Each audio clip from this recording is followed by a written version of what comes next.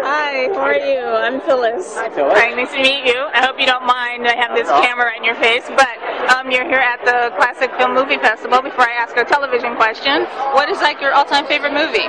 What is probably Wizard of Oz? Oh, uh-huh. Very, very innovative, um, going from black and white to color. Right. A lot of the effects were things that had never been done before. Mm-hmm. Uh, as an all-time classic, that would be it. Right.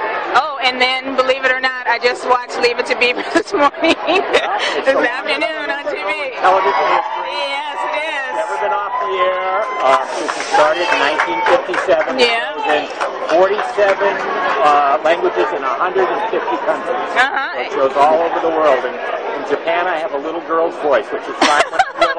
By the time I'm 14, it's not that great. Right.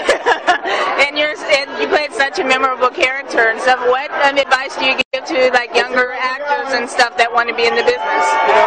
You acting is not something that you can just walk up and do. You have to be trained to do it. Yeah. I was very lucky because I started at two years old, so I, I was allowed a little bit of training. But for the most part, it's you know you just have to really want it because it's a lot of hard work. Uh-huh. Oh, that's great. Thank you so much for talking to me. Have a good evening.